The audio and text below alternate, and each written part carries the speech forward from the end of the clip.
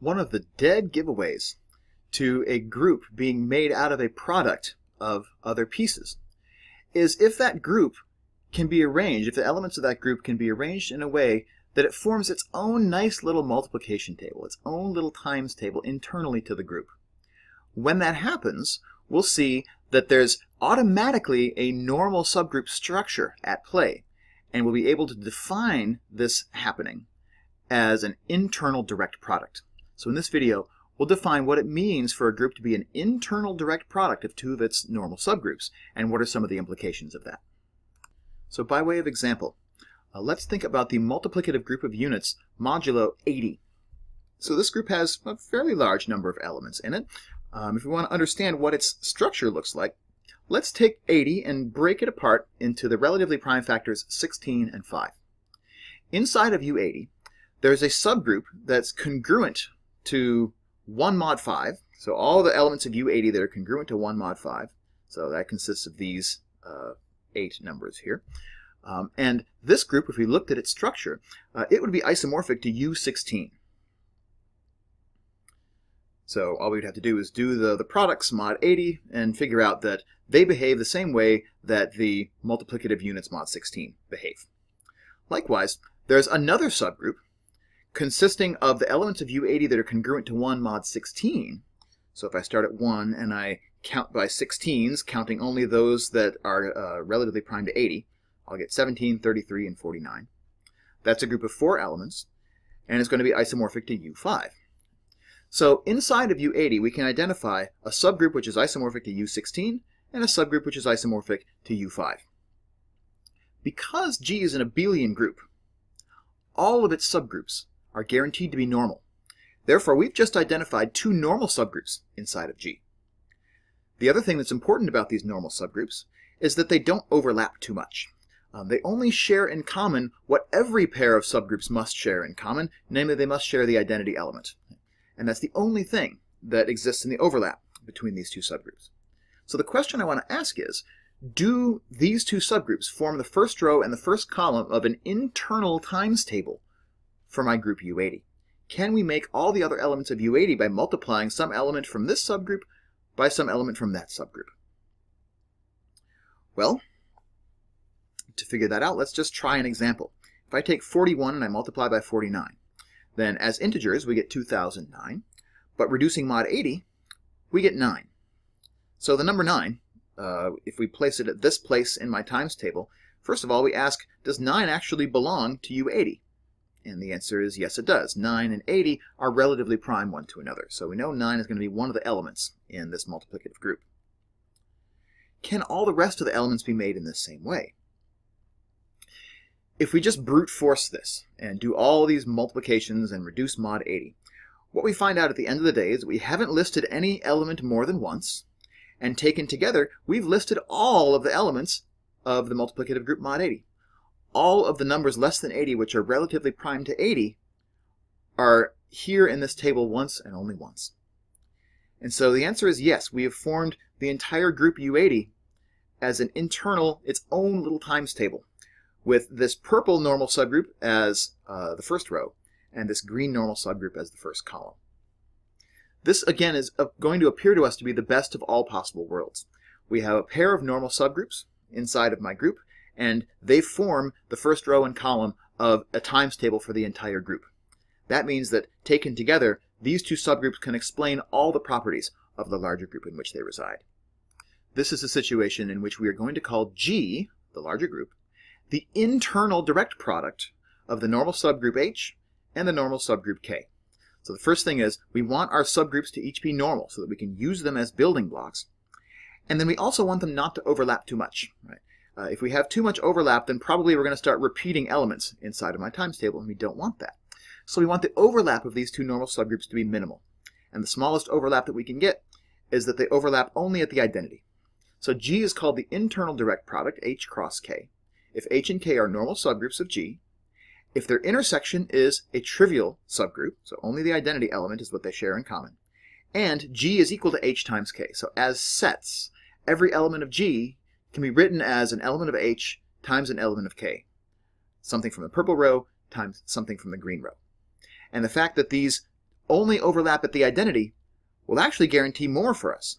They'll guarantee that not only can we write every element of G as a product of an H and a K, but that we can do so in one and only one way.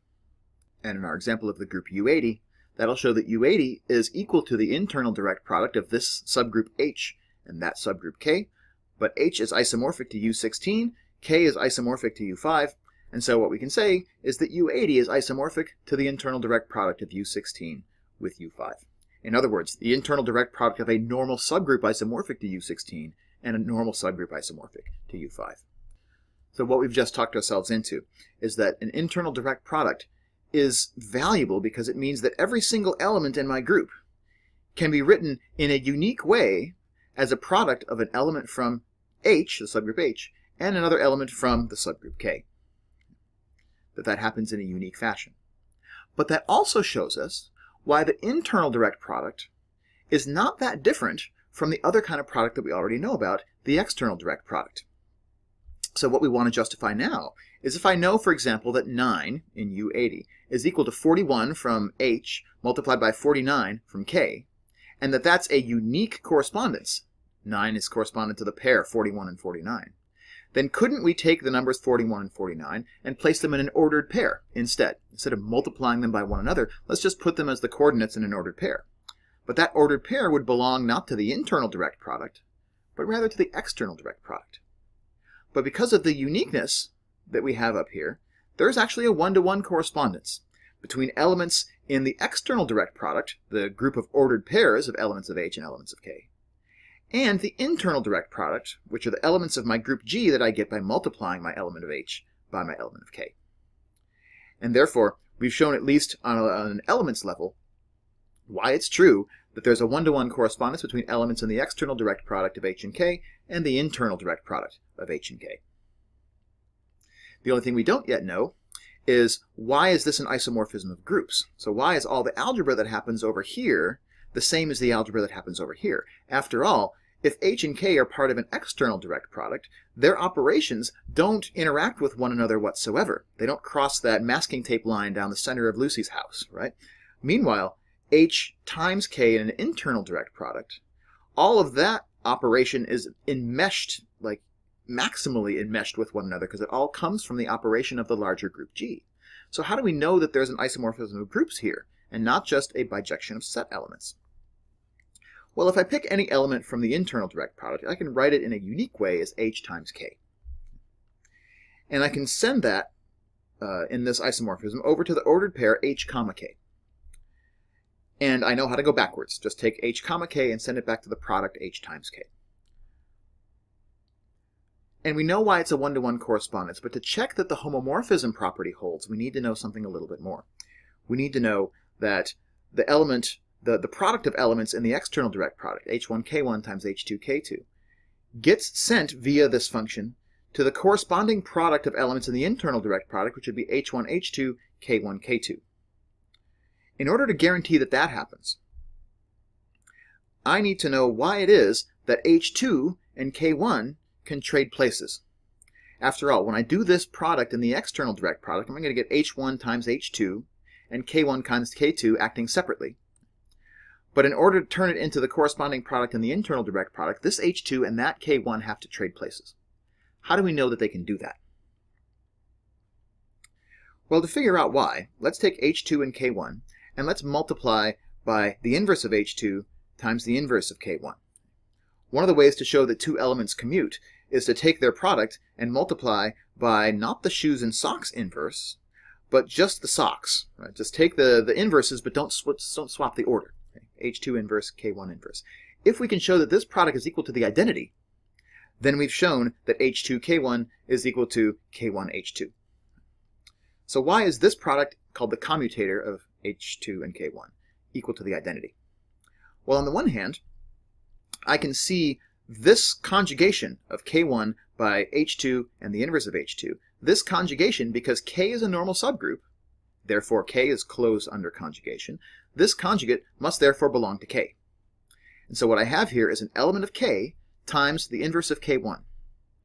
But K1 belongs to the subgroup K, and therefore this is an element of K times another element of K, and therefore that product has to belong to K. On the other hand, if instead of grouping the first three factors in this product, I had grouped the last three factors in this product, what I have there is an element of H conjugated by an element of K, but because H is a normal subgroup, it's closed under conjugation as well, and so this product of three factors over here belongs to H. Because H is a normal subgroup, it's closed under conjugation. And what I have here now is H2, which is an element of H, multiplied by another element of H, which by closure gives me an element of H. So just by looking at this product of four group elements in two different ways, by regrouping with the associative property, I've been able to show it's both an element of K and also an element of H.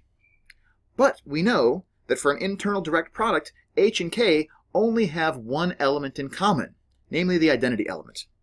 Therefore, anything which belongs to both H and K must be equal to the identity. And if that's equal to the identity, that means H2K1 is equal to K1H2, which means I can trade places in this factor right here, and therefore show that the homomorphism property for the function which maps the ordered pair HK to the product H times K in the internal direct product does indeed satisfy the homomorphism property, and is therefore an isomorphism of groups. So that's kind of the really good news about this, is that we learned a new kind of product, the internal direct product, which is a product in which two sort of perpendicular, if you like, two orthogonal, two normal subgroups of a group G can combine together to make an internal times table for that group. And that feels like a brand new exciting fact, and it is, because it's how we can build a larger group out of its normal subgroups. But at the same time, we also learned that up to isomorphism, it doesn't give us a new kind of product. Up to isomorphism, it's the same thing as if I had just taken the external direct product of those two subgroups in the first place, pretending as though they didn't reside within the original group to begin with.